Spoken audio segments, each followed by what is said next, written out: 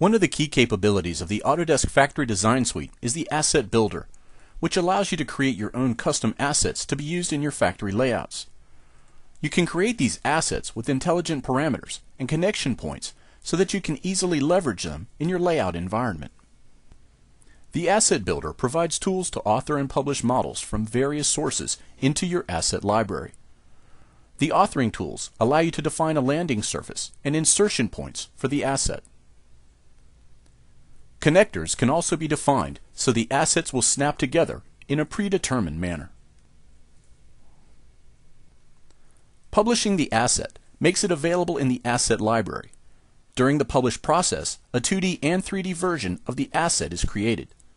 The 2D version of the asset can be referenced in the AutoCAD environment.